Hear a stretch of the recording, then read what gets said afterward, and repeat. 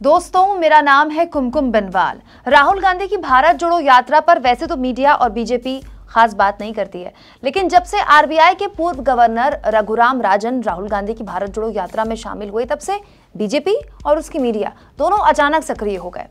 लेकिन ऐसे लोग शायद खुद मोदी जी की रघुराम राजन की ये तारीफ़ सुने तो उन्हें पता चलेगा कि मोदी जी ने कितनी भर भर के तारीफ़ रघुराम राजन की करी है। दोस्तों, रघुराम राजन, जो आरबीआई के पूर्व गवर्नर हैं और मोदी सरकार की आर्थिक नीतियों की लगातार आलोचना करते रहे हैं, वो कांग्रेस की भारत जोड़ो यात्रा में शामिल हुए। तो बीजेपी आईटी सेल के हेड अमित मालवीय ने कहा, रघुराम राजन पूर्व आरबीआई गवर्नर, जो कांग्रेस द्वारा नियुक्त किए गए, आज भारत जोड़ो यात्रा में शामिल हुए तो हमें कोई हैरानी नहीं। वो अपने आप को अगला मनमोहन सिंह देखना चाहते हैं।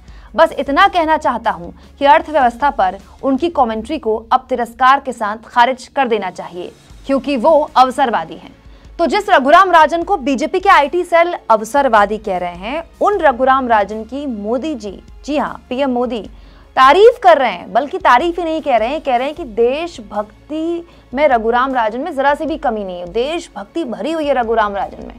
मोदी जी रघुराम राजन के लिए अपने एक पुराने इंटरव्यू में ये भी कहते हैं कि रघुराम राजन कहीं किसी भी पद में हो, वो देश प्रेम करने वाला इंसान है। और रघुराम राजन के साथ मोदी जी का जो अनुभव रहा काम करने का, वो अच्छा रहा। मैं जितना रघुराम राजन को जानता हूँ वो किसी भी पद पर हो कहीं पर भी हो वो भारत की सेवा करने वाला इंसान है भारत को प्रेम करने वाला इंसान है। अब क्या किया जाए? सोशल मीडिया का तहखाना है ही ऐसी चीज़। यहाँ कुछ भी ना पुराना नहीं होता। रघुराम राजन की देशभक्ति जरा भी कम नहीं है। मेरा अनुभव उनके साथ अच्छा रहा है। वक्त भी देखिए क्या क्या खेल खेलता है।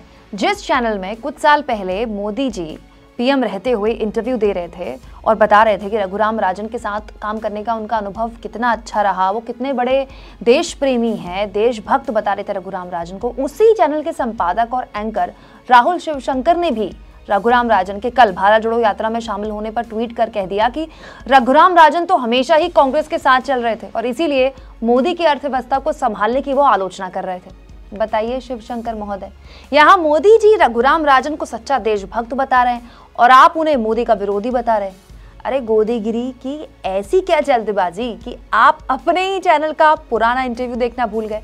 कोई बात नहीं आर्काइव में जाकर आप देख सकते हैं, पूरा इंटरव्यू आप ही का चैनल का है, आप क्या दिक्कत है? ये तो छोटी सी क्लिप हमने दिखाई थी।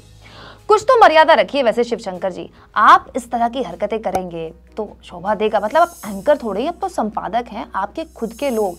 न्यूज़ रूम में हंस रहे होंगे आप पर। दोस्तों तो इस पूरे विवाद में एक बात साफ़ हो गई है कि रघुराम राजन से मोदी जी को कभी कोई आपत्ति नहीं रही। वो तो उनकी तारीफ़ कर रहे हैं, उनको देशभक्त बता रहे हैं। ये तक कह रहे हैं कि रघुराम राजन को किसी पद की आवश्यकता नहीं, वो जहाँ भी रहेंगे, देश के बारे में कुछ ना कुछ करते रहेंगे। तो जब मोदी जी रघुराम राजन की इतनी तारीफ़ कर ही चुके हैं तो न केवल मीडिया को, बल्कि बीजेपी को भी रघुराम राजन की मोदी सरकार को लेकर जो आर्थिक नीतियों की आलोचना है खुलकर उनका सम्मान करना चाहिए, खुले मन से उसको सुनना चाहिए, सिरे से नकारने की बजाय उसका आत्मसात करना चाहिए, क्योंकि ज्ञान और अच्छी बातें और अच्छे सुझाव कहीं से भी मिले, उसको लेना चाहिए, उसको ग्रहण करना चाहिए। दोस्तों, आप रघुराम राजन पर बीजेपी और मीडिया के ऐसे दोगलेपन पर क्या सोचते हैं? कमेंट बॉक्स पर अपनी राय ज़रूर दीजिएगा। चैनल को ज्वाइन भी करें, सब्सक्राइब भी करें और अब यूट्यूब ने हमें थैंक्स का ऑप्शन दे दिया है, जिसके ज़रिए आप हमारे फ्री जर्नलिज्म को सपोर्ट कर सकते हैं।